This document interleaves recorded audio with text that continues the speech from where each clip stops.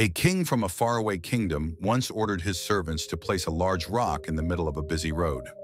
After setting the obstacle, the king and his servants left to watch what would happen. Soon, some middle-class men came along the road. Without paying much attention to the obstacle, they simply walked past it in silence. Later, several villagers arrived. Many of them complained loudly about the rock and blamed the king for not keeping the road clear. A few minutes later, a farmer appeared. When he saw the rock, he immediately tried to move it out of the way. He pushed and strained with all his strength until, at last, he succeeded in rolling it aside. Beneath the rock, he discovered a bag filled with gold coins and a letter from the king. The letter read, This gold belongs to the person who removed the obstacle from the road. By doing so, you have shown that you care not only for yourself, but also for others.